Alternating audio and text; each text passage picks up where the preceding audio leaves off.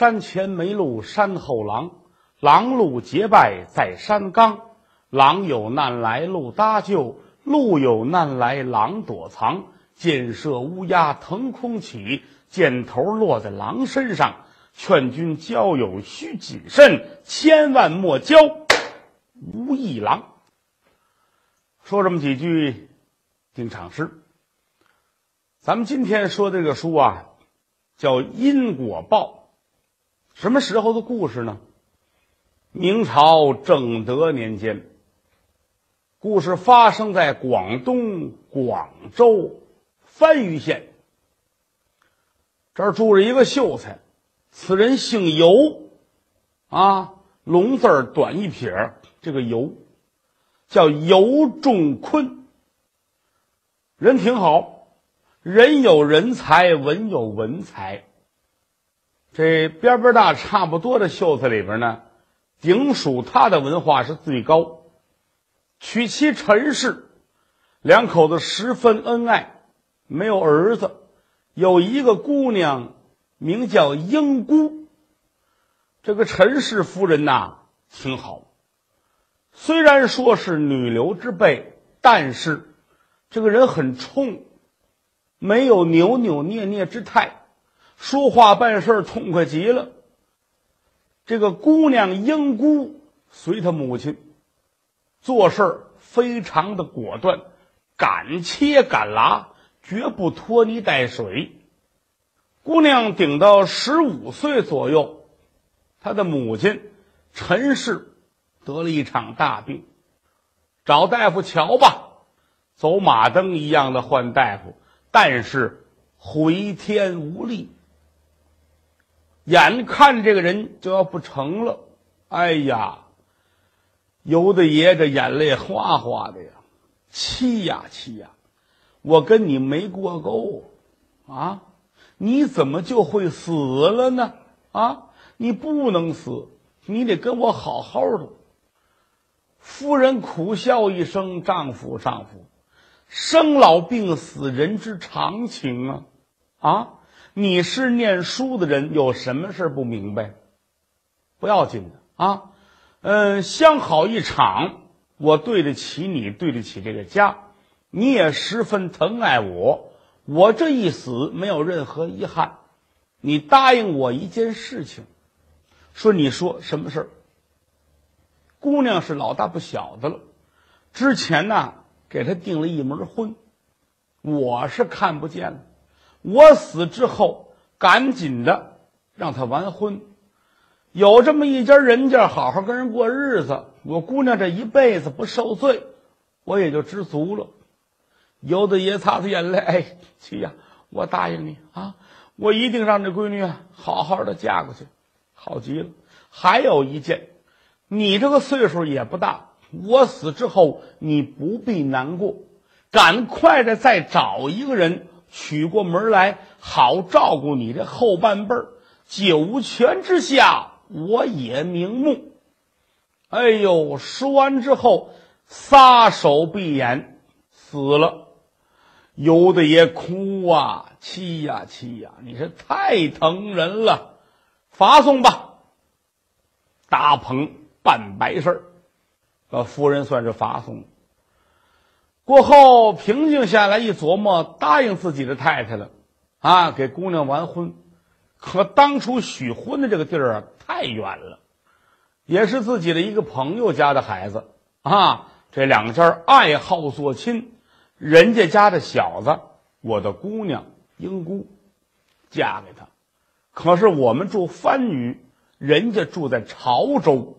离得不近，你看现在哈，说这个呃，打潮州奔着番禺去不算什么，当年不成，也没有火车，也没汽车，这劲费大了，托人找吧，哎，三下五下送信儿，找着那家了啊！一说这个事儿，说差不多姑娘也不小了，十五六了，那那个年头十五六就得结婚了，谁家姑娘十九二十不结婚，得让人笑话死。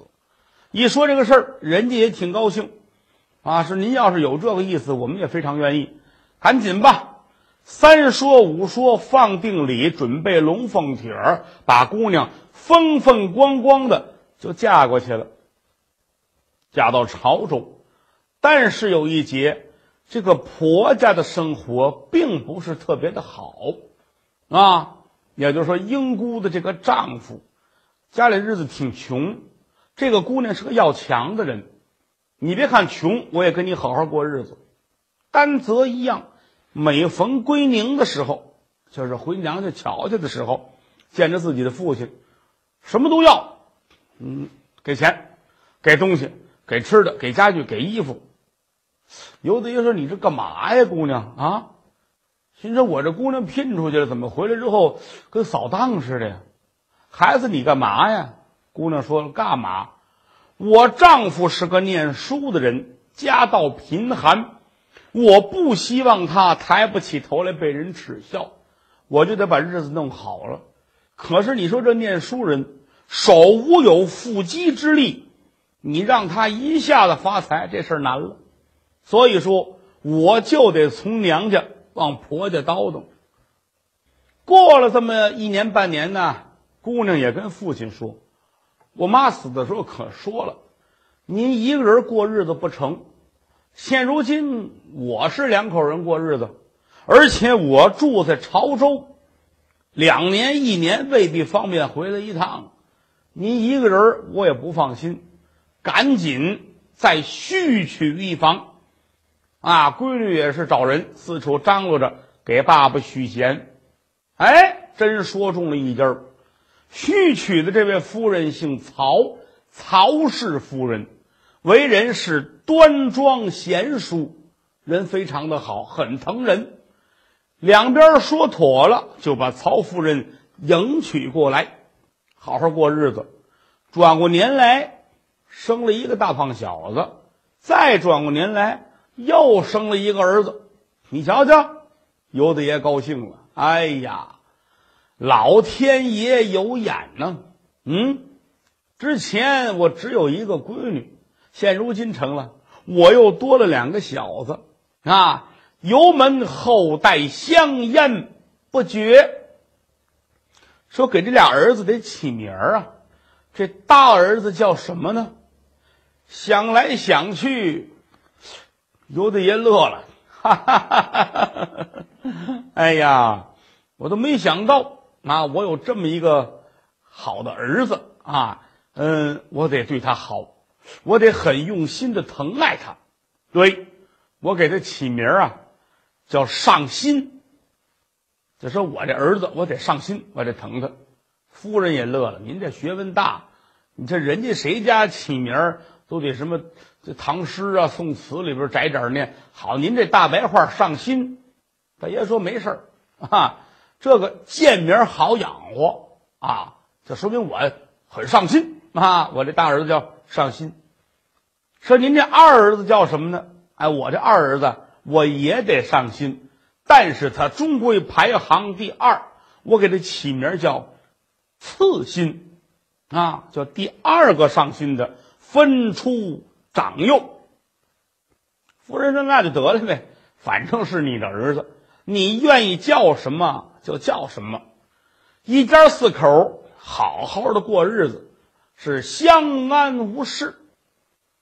又过了这么几年，这天大爷跟屋里边正看书呢，有打外边夫人进来了，说：‘夫君呐，外面来了江西省。’”有这么一位上差，点着名儿的要找你。我这江西省的上差，这是谁找我呀？不知道，我请进来吧。这赶紧迎出来，一瞧门口这儿围了一大帮人，啊，正当中有一人骑着马，头上戴着，身上穿的，一瞧就是上司衙门来的人。啊，坐在马上，撇着辣嘴，马底下站着一帮人，大爷都认识，竟是自己的同学，啊，不错的这个念书人呐，秀才们，大伙都围着。一瞧他出来了，大伙全过来了。哎呀，尤兄啊，给您道喜，给您道喜。大爷不明白呢，什么玩意儿道喜？怎么回事啊？再一瞧，马上之人勒坐骑，仔细观瞧，你姓尤啊？啊，是我啊，找的就是你。说着话，翻身下马啊，有话里边说吧。这让到里边来，把人家让到上座。快点，先茶，把茶沏得了。啊，小生是姓尤，您找我有什么事情吗？嗯，呃，是这样的。闻听人言，广东番禺县有一位秀才，有惊天伟地之才，安邦定国之志，故此江西镇边王老千岁啊，十分的想见你，想聘请你到府中去，以为募兵。什么意思呢？江西呀，有一王爷啊，官封是镇边王。王爷听人说了，你这能耐大了啊，识书认字儿啊，吟诗答对儿，而且还有很多治国安邦的道理，打算把你请去到府里边呢，做一个募宾啊，募宾门人请客呀，一块聊天啊，给出个主意啊，干这个似的。过去来说，像这有身份的人经常这样啊，门下食客三千，有多少多少幕僚是干这个。一说这个，哎呦，尤大爷很激动，想不到的事情，哈哈哈哈这是天上掉下来的馅儿饼。俗话说得好，学会文武艺，货卖帝王家。不假，我是念书人，我也希望出人头地。单有一节，这太难了。普天下是念书的人，就一条道儿。啊，就是科考，可是三年一科，哪这么容易？你去了，到那儿就考上一状元，考上一榜眼。而且来说，您得记住了，考上状元不代表有身份。啊，我我们有时候看戏呀、看电影啊，或这人已经考中状元了，他就如何如何。您记住了，状元不是官儿，他只能说你是今年全国考试的第一名，你没有实缺。所以说，考中了状元。还得等着一步一步的去熬这个官场，但是这也是念书人唯一的一条道路。那么今天镇边王啊，王家千岁都知道我了，打算请我前去作为一个募宾，那我就有了近身之地了，这岂不是天大的好事？又一想，门口这些个同学，这些个秀才，哦，人家是早知道这个事儿了。哈哈哈！可没想到，整个番禺县就选了我一个人。当下赶紧站起身来，哎呀，上差上差！承蒙王家千岁器重，怎奈贫生才疏学浅，恐怕有负众望。哎，你也别客气了，不要紧的啊！王爷既然知道有你这么一个人，那么好极了。你收拾收拾，随我是赶奔江西。有这客气话跟王爷说去。你跟我说，我们是大老粗，也听不懂。哦，那好，那我我收拾收拾，什么时候走？明日启程。是是是是。有打家里边把上差送出来，上差回衙门去休息。哦呦。这些个秀才呀，这些个同学朋友们都进来了。哟，大爷，给您道喜，哈哈哈哈哈这是好事儿，好事儿啊！尤兄有了近身之地，是我辈所不及也，跟您没法比。大伙儿都高兴。哎呀，是是是，我谢谢各位啊！这我这一走啊，我也不知什么时候回来。家中啊，呃，连媳妇带孩子的，家里有事儿，各位您还得多多关照。啊，没得说，没得说。大伙儿都走了，这关上门，两口子坐在这儿，把事儿一说。夫人说：“反正是好事啊，这一去呢，王爷要喜欢你，给个一官半职的，你这辈子也算是没白混，挺好。可有一样啊，咱可说好了，你要是去的话，你在外边，你可不能忘了我们娘仨，我们跟家还等着你回来过日子呢。”哎呀。夫人呐，你放心啊，为夫我不是那等贪利忘义之人呢啊！我这俩儿子全拜托你了啊！我到那儿去，如果说有了安身立命的所在，那马上打发人来接你们仨到那儿去。咱跟哪儿不是过日子呢？哎，好，归置东西吧，给丈夫准备应用之物，换洗的衣服都准备齐了，打点好了。这晚上说不完的话，明儿要分别了嘛。两口子聊天儿，哎，说来说去，说都快天亮了，眯瞪会儿吧。刚快睡着，人家上差来了，带着衙门口的兵丁来催来了。走吧，走吧，尤秀才，哎，走走走走走。这儿归置完东西出来，辞别了妻子孩儿，跟随上差，赶奔江西南昌。这个一路上没有什么事儿，咱们是有话则长，无话则短。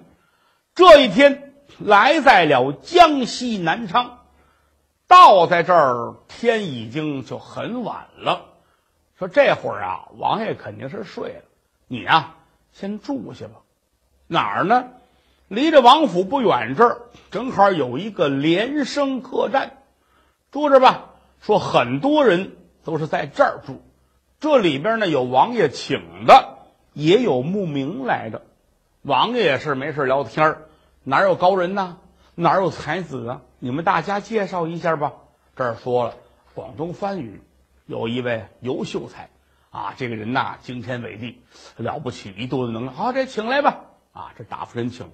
他这个山西，山西太原还有一位哈，唐诗一万首，哪有这么些个？说他能背这么些个。好，那请来吧。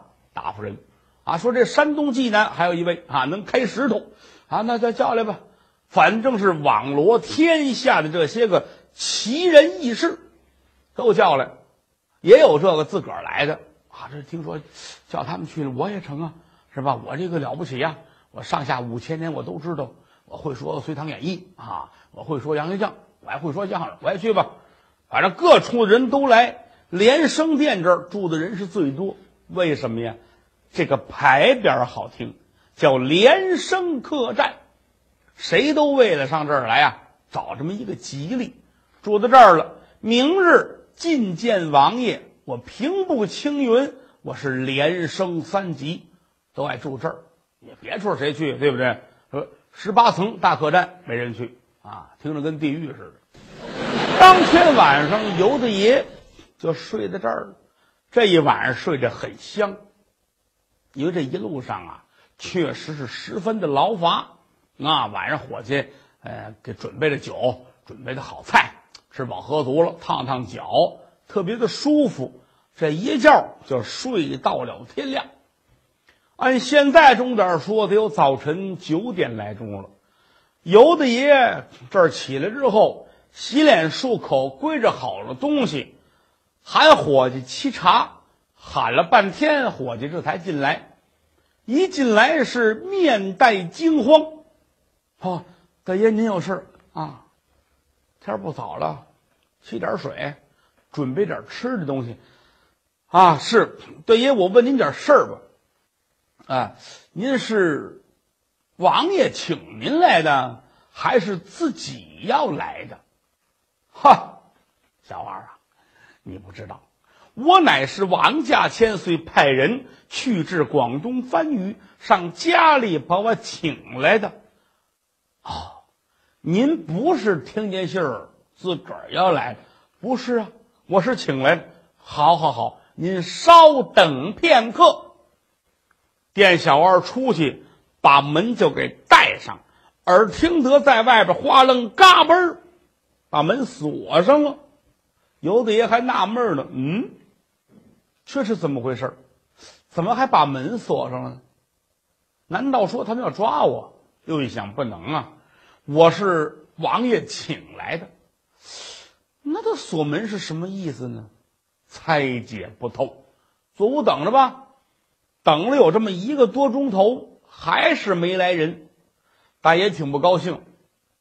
伙计，小二，你上哪儿弄水去了？喊了半天，还没人识茬儿心说得了，我坐这儿啊，瞧两篇书吧。打开自个儿这书，刚看了没两篇，就听得楼梯上噔噔噔噔噔噔噔脚步声音，来的人得有几十人之多。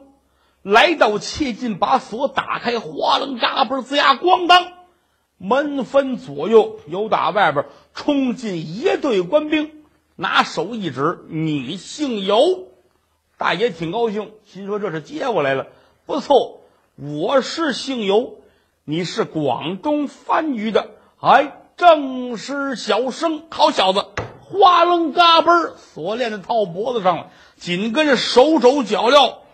全给砸上了，尤大爷当时就傻了。哎嘿，这茬可不对啊！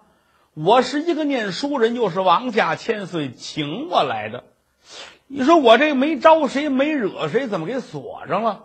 而且从头上到脚下，这个刑具上的很奇迹。你要说我偷了东西了，把我弄走，顶多来根麻绳子，这可不成。啊，从上到下三大件儿，你这这拿我当死囚犯了呀？有的也还没明白啊，我这怎么回事？怎么回事？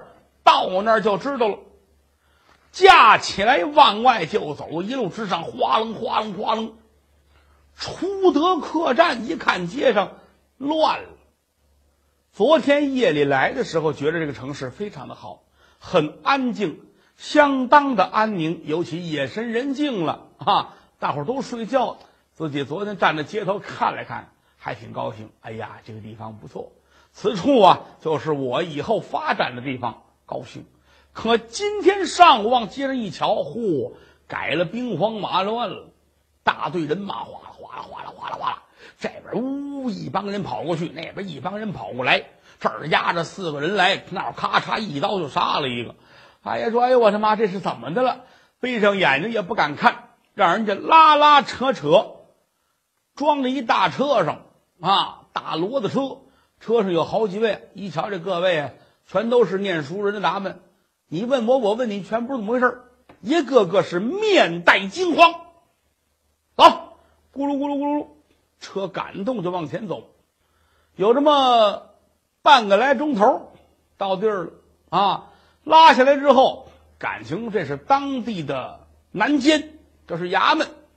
来到监房这儿，打开门，把这帮人全都推进去，把锁锁上。人都走了，屋里边就剩下这些位犯人了。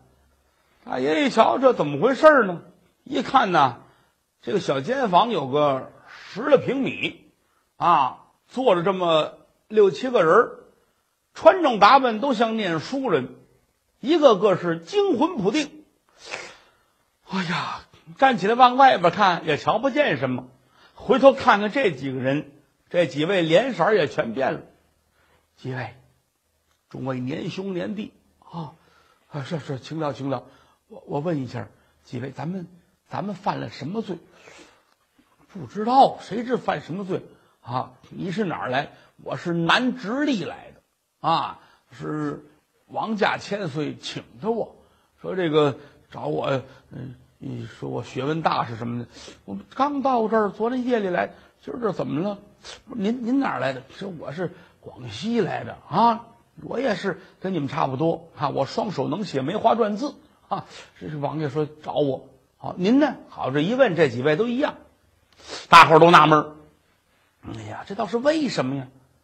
王爷不说好了吗？找我们来以作募兵，那这是什么意思呢？大伙儿都不知道。书中代言，这位镇边王啊，老千岁，四处的请这些个人来。